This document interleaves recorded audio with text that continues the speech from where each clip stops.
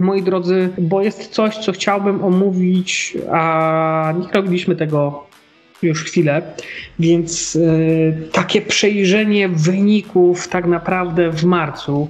Często o to pytacie, jak to wygląda, Paweł, jak, jak ten handel E, czy, czy w ogóle się opłaca, czy się nie opłaca, tam pytania, my wrzucamy jakieś wyniki, filmy, ostatnio Filip wrzucił rozmowę gdzieś tam ze mną, taki wynik rekordowy w ostatnim czasie, super, bardzo fajnie, ale moi drodzy, e, wyniki pojedyncze wynikami pojedynczymi, fajnie, że możemy je zaprezentować, niemniej patrząc na ten rok, pytacie, czy mieliśmy dni stratne, jak pokazuje ten TradeView, E, czyli taki zestaw raportowy transakcji, to są dni na zielono, to znaczy, że mieliśmy pozycję w zyskach, czy w ogóle mieliśmy zyski na koncie.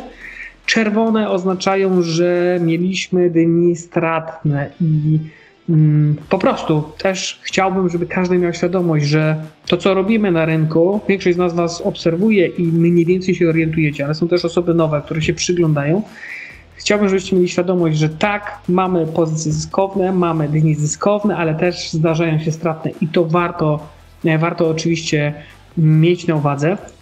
Weźmy w kalendarzu tak naprawdę bieżący miesiąc, e, czyli od 1 marca, wyfiltrujemy sobie to, przejdziemy do takiego przeglądu mm, bieżącego.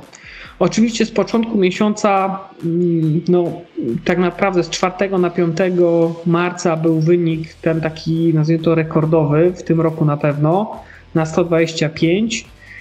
E, I teraz, e, żebyśmy mogli go pominąć, słuchajcie, bo on mi trochę zaburza tutaj mm, relacjonowanie tego, co się dzieje, bo w zasadzie można powiedzieć, e, tam w sumie nic się nie działo, a działo się.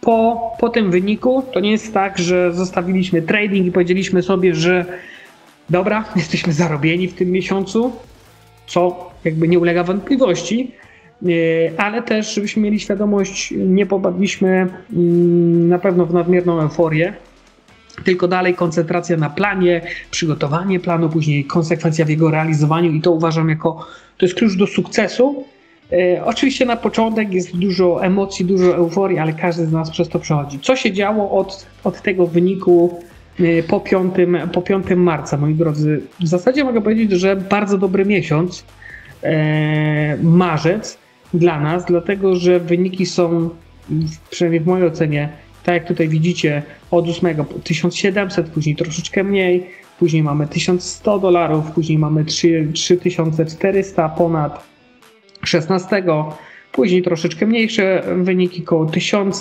600, 700, no i 20, 23 4620, później znowu gdzieś koło 1000 i dzień wczorajszy 1600 dolarów mm, zrealizowane.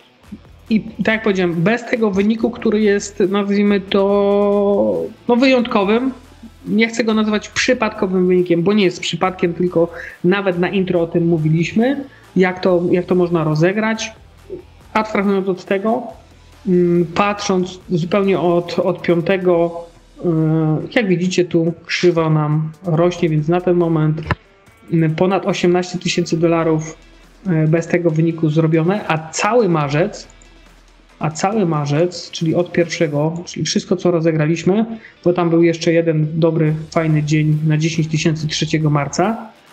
Cały marzec jesteśmy z wynikiem 158 tysięcy, więc to jest kupę pieniędzy. Słuchajcie, kupę pieniędzy i to nie jest teraz tak, że mm, już nic więcej nie robimy, e, że teraz to tylko jakoś dotrwać. Nie.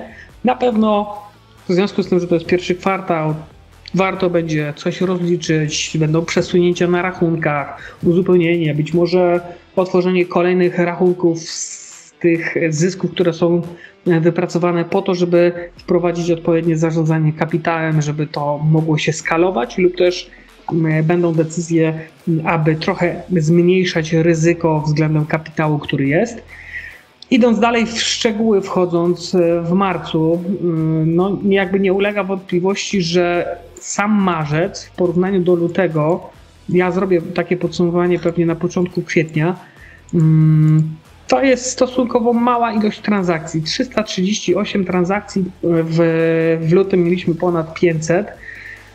I to jest oczywiście ważna zmiana, czyli transakcji było mniej, ale jak widać, przekłada to się też na, na efekty. I co jest dość istotne, nie ma takiego zestawienia i nie ma takiego mechanizmu, w którym moglibyśmy sztywno określić, że 1000 mm, transakcji będzie lepsze niż 250, albo 250 transakcji będzie lepsze niż 1000. Po prostu są różne sytuacje rynkowe, e, w których trzeba się odnajdywać, w których trzeba się poruszać i no tak to, tak to wygląda.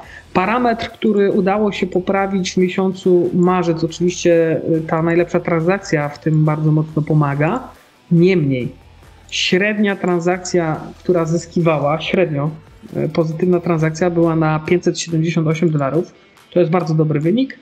I średnia pozycja stratna 130, więc jakby ta relacja pozycji stratnej do zyskownej, średniej oczywiście, to jest coś, co mnie e, na ten moment zadowala, urządza i to jest wskaźnik porządkować tradingiem u każdego, kto myśli długoterminowo o, o zagrywaniu, o inwestowaniu, to to jest oczywiście ważny parametr.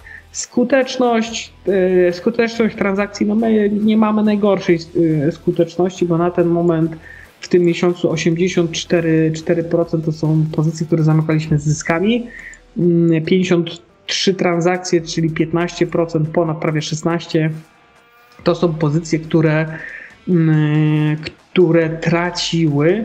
No i tak to, tak to tutaj wygląda. Moi drodzy, jeszcze przejdziemy e, właśnie po instrumentach.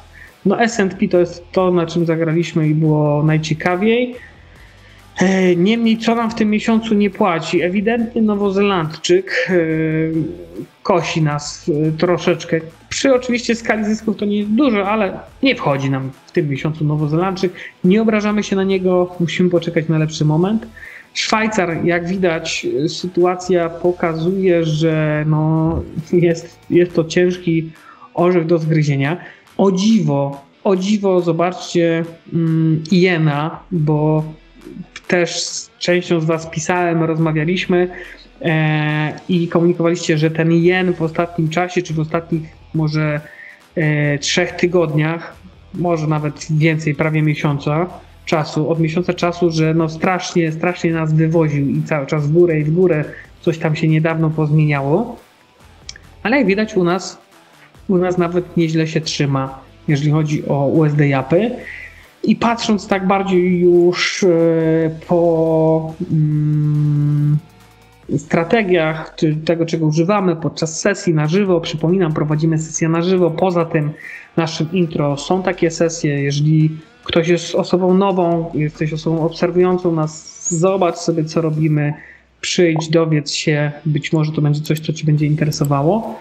E, niemniej, e, no, w związku z tym, że jest bardzo dobry miesiąc, no można w dużym skrócie podsumować to tak, że każda ze strategii radzi sobie, mm, można powiedzieć, bardzo, bardzo dobrze.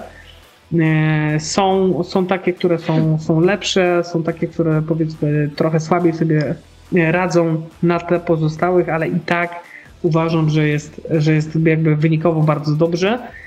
E, I jakby tyle tu są e, strategie DML, między innymi prościej się nie da, której, której używamy Reaction Zone, Money Flow, cykl rotacyjny. Jest to tu, e, jest to tu wskazane. Tak to wygląda, moi drodzy. Jeżeli chodzi o wyniki, tak naprawdę tyle.